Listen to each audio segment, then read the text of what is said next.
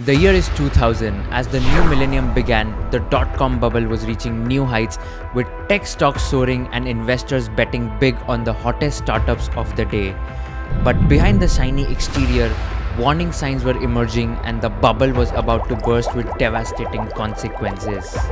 The Nasdaq index, dominated by tech stocks, fell from a peak of 5,000 to under 1,200, wiping out trillions of dollars in market value. As the ripple effect spread globally, 1,000 tech companies went bankrupt, with thousands of employees losing their jobs. Investors lost billions of dollars as once high flying tech stocks became worthless overnight. The dot com crash was one of the largest single day declines in stock market history. From the ashes of the dot com bubble, one tech titan will soon emerge who's going to massively impact the lives of 1.3 billion Indians. This man would be the co founder of India's most valuable IT company, Infosys, and the architect behind world's most powerful digital innovations like Aadhaar, UPI, ONDC, etc. The man would be called as the big brain of India's digital revolution. Key player in India's growth story. My friend, architect of the Digital India Mission, India's leading entrepreneurs. Nandan Nilekani. Nandan Nilekani. Nandan Nilekani. Nandan Nilekani.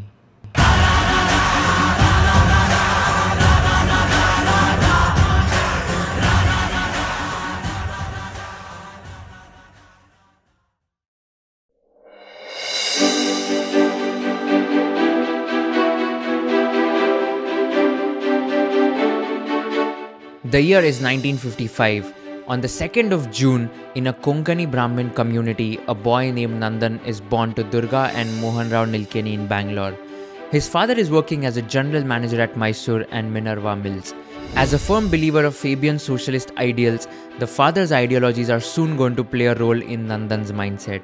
My father was a textile mill manager in a mill called Minerva Mills, which is on Magadi Road. And today I live in Koramangala, and in between I've lived both in Jayanagar and in BTM layout. Well, my, actually, my background is very ordinary. Uh, I lived in Bangalore till the age of 12, and then my father's job uh, got into difficulties because the entire textile industry got into difficulties, and he had to keep finding new jobs uh, uh time on. He excels academically from an early age. He attended Bishop Cotton Boys School and St. Joseph High School in Dharwad, Karnataka. But life has not been that easy for him. By the time he was 12, the mills at which his father worked were in trouble, and his father had a tough time going from job to job to fend for his family. He sends Nandan to his brother's house to continue his studies in order to further secure the stability of his education. Without any other options, the diligent and unwavering Nandan is forced to borrow books from his friends and relatives in order to prepare for one of the world's toughest entrance exams, JEE. After months of intense studying and exams, finally the day arrives when his hard work is now going to get rewarded. He succeeds in getting into IIT Bombay, one of the most prestigious engineering colleges in India. Uh, my father worked in a textile mill in Bangalore and then the, the company that he was in had some difficulties so he moved on and had a, a roving job because he would go to different cities working in these mills and so he wanted me to have a stable education so uh, I went to stay with my uncle in a small town called Dharwad. Uh, so in the year of 1973 I moved from Dharwad to Bombay to start living at the IIT campus. The year is 1978. IBM, the big blue multi technology corporation, has just left India after receiving strong criticism and backlash from the ruling party and the Indian government. With no other IT powerhouse in India, prudent and focused Nandan now sees that this is a chance for budding an Indian IT company to uphold the market of mini computers in India. So instead of going for a master's degree, he decides to begin his professional career with a computer agency known as Patni Computer Systems. Young Nandan, who was recently graduated from IIT Bombay with a bachelor's degree in electrical engineering, was encouraged to try his luck by Mr. Narayan Murthy, a co worker at Patni Computer System who is well renowned for hiring deserving applicants regardless of their field of study or work experience. He said, I want a job. I said, Young man, this is February why are you coming for the job now? He said, no, I want to go to a business school in the US. And therefore, I was preparing for my GMAT or whatever that is. So now I'm free till September, so I want. But, you know, I had a principle. It is better to have an intelligent man with you, no matter how short that period is because that intelligence will add tremendous value. So I gave him my tough learnability test. Of all the people that I gave that, he was the only one who got 50 out of 50. Around the same time, after completing his bachelor's, Nandan gets married to Rohini Ragini, who incidentally met him at a quizzing event at the IIT college and fell in love with him.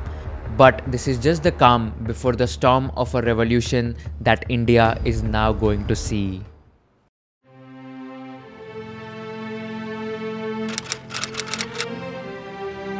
The year is 1981. Collecting bits and pieces of insights and knowledge about the Indian IT sector and eroding it down with experience, Narayan Murthy, Nandan Nilekani, and five other employees in full swing decide to start their own IT firm after leaving Patni Computers.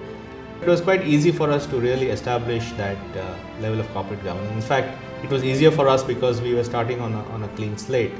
And this has actually resulted in tremendous uh, recognition. Big things often start with small beginnings. With a minimum capital of rupees 10,000 borrowed from Narayan Murthy's wife Sudha Murthy, Infosys is now born.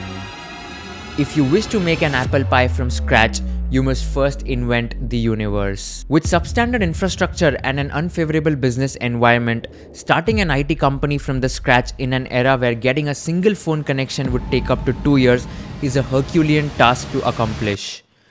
But despite all the uncertainties, Nandan, the marketing face of the newborn company, was juggling too many balls in the air to save the company from various business challenges. The year is 1992. Slow and steady finally hits the bullseye.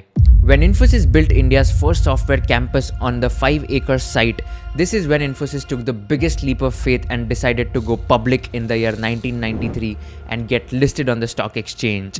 By the mid 1990s phase, after hoisting their flags in the kingdoms of success, the Infosys founders started their march to be a global company as they believed that only those who can risk going too far will possibly find how far they can go. Well, we never thought of this company as a company to service the Indian market because even in those days, the Indian market for software was very minuscule. We always thought of it as a company which would use the capabilities and the talents and the skills of uh, Indian uh, people, Indian software engineers, and attack the global market. And even then, that global market opportunity was visible. It was not as big as it is today, but it was visible and we had had some experience in that. So we were quite confident that we could make uh, a large company out of that. The year is 1999. While climbing the ladder of global achievements, a fierce battle named the dot com bubble is now having repercussions on the major IT and technology companies worldwide. Staying firm on its long term vision, Infosys now achieves the unexpected of all, creating history in the Indian IT industry. It is now the first Indian IT company to get listed on the Nasdaq. With a stellar listing on the US bourse, Infosys is among the 20 biggest companies by market cap on Nasdaq. Nandan was instrumental in the success of Infosys. If Narayan Murthy was all about excellence in execution, Nandan Nilekani was about the big picture. He takes upon various responsibilities at the company, including that of managing director, president, and chief operating officer, before making it to the position of CEO, replacing Murthy in 2002. He then serves as MD and CEO of the company, escalating Krish Gopalakrishnan to the position of CEO, serving as co chairman. As the co chairman, he now focuses on the key client relationship. He is a brand ambassador for the company and works on transformational initiatives. With Nandan at its helm between 2002 and 2006, Infosys saw its top line grow a whopping sixfold. Infosys market cap had jumped 367% to rupees 1,15,000 crores. Success is no accident, it is hard work, perseverance, learning, studying, sacrifice, and most of all, love of what you are doing or learning to do. The long standing efforts that he had put forth in the field of technology not only made him earn good wealth and reputation, but also fetched him numerous awards. The year is 2006. Nandan Nilekani is named Businessman of the Year by Forbes Asia. He is also one of the youngest entrepreneurs to join 20 global leaders on the World Economic Forum Foundation board. And not only this, he is felicitated with one of the India's highest civilian honors, the Padma Bhushan.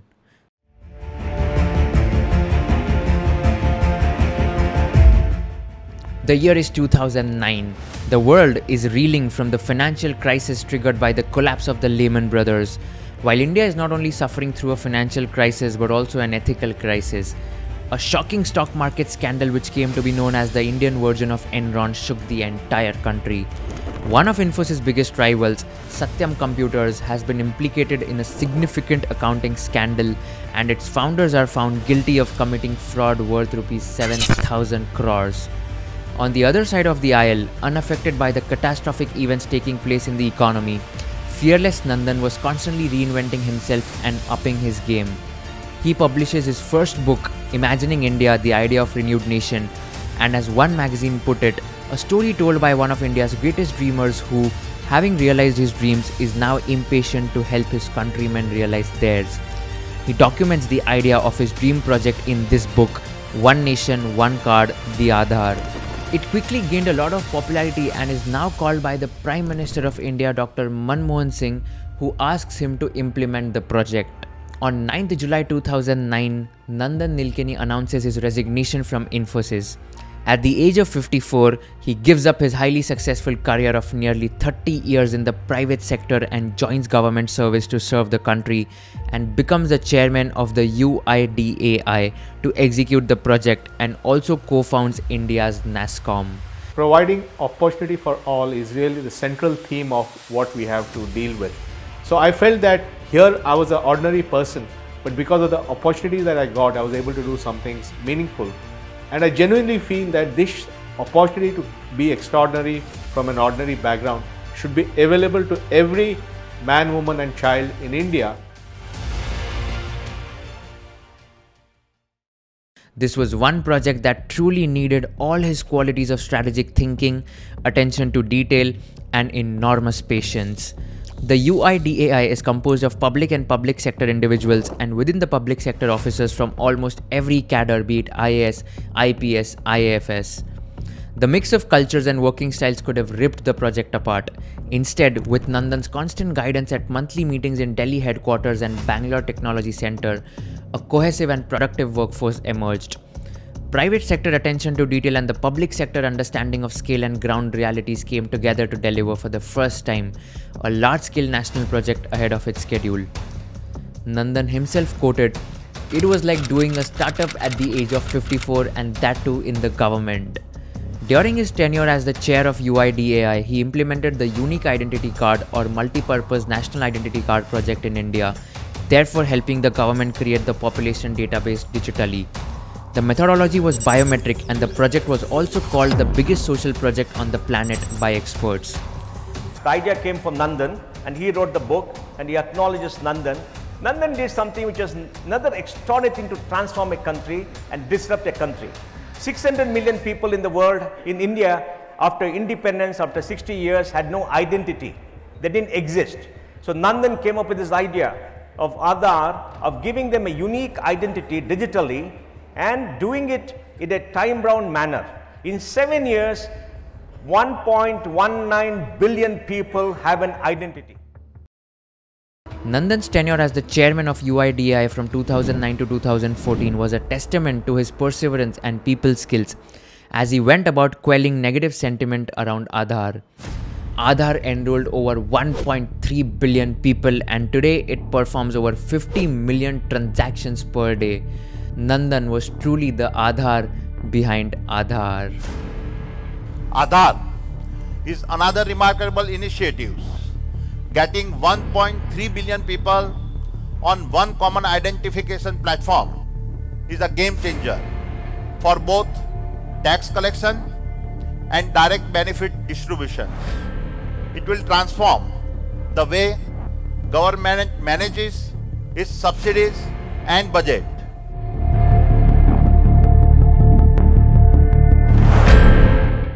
The year is 2014. After phenomenal success of Aadhaar, undeterred Nandan didn't just wish to stop here. He is yet again ready with his next stint, and this time he decides to make his debut in the Indian elections. He joins Indian National Congress Party as a candidate from the Bangalore South constituency. With assets over more than rupees 7710 crores in the affidavit filed for the election commission, he is one of the wealthiest candidate in the 2014 Lok Sabha election. But it looked like Nandan was barking up on the wrong tree. Like most other Congress candidates, he is swept away by the Modi wave. The day is 16th of May 2014. Even before the counting is over, he concedes his defeat, losing 2,28,575 votes to BJP veteran Anant Kumar. Humbled at the hustings, he gradually withdrew himself from politics. He hasn't spoken about rejoining politics since. He soon realized politics is not his cup of tea. Since then, he has continued to evangelize the use of technology and digital identification in government schemes. The year is 2017. The pool of scholars undoubtedly took Infosys to heights, but the firm stumbled when the base of such a gigantic firm shook when MD and CEO Vishal Sikka announced his resignation, leaving all the stakeholders in a huge dilemma. In situations like this, when the leader himself is not happy with his own kingdom, gaining stakeholders' credibility and retaining their trust and money was like a pipe dream. Narayan Murthy's eyes were searching for a man who watched this firm grow right from its emergence to leading at the top and someone who can rescue Infosys from this outraging and contentious situation. Walking encyclopedia of the tech industry, one who is not just another insider or co founder, but a man who knows the company's business, landscape, people, and culture too well. And the man at the rescue is none other than Nandan Nilekani. Back again in the game, he takes the throne of the legacy of Infosys, heading the position of chairman. It's a daunting task to make Infosys the bellwether it had once been, but Nandan is up for the challenge.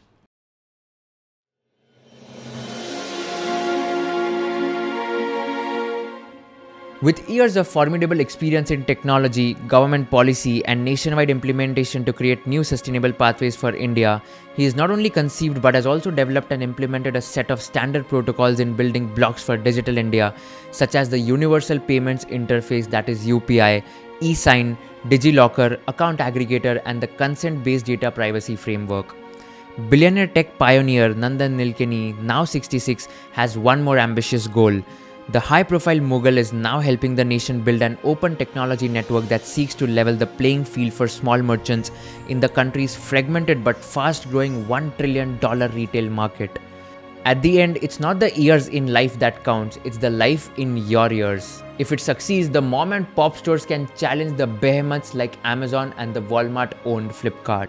In a nutshell, what UPI did for payments, ONDC aims to do the same thing for retail.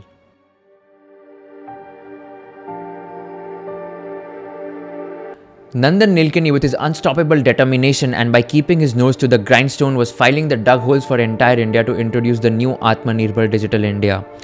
Burning the candle at both ends, he co-founded software powerhouse Infosys Limited, became a billionaire, and went on to spearhead a colossal government to create biometric identification for India's almost 1.3 billion people. His personal wealth is valued at $2.75 billion and is listed at rank 75 among India's 100 top billionaires on Forbes list of the world's richest people in 2022. He is also a serial investor and the co-founder of Fundamentum, the venture capital firm investing in early growth stage Indian startups, having invested in around 7 startups till date including unicorns PharmEasy and Spinny. Let's look at the billionaire's give back to the society. In 2008, he set up the Indian Institute for Human Settlements to help solve urban challenges for India.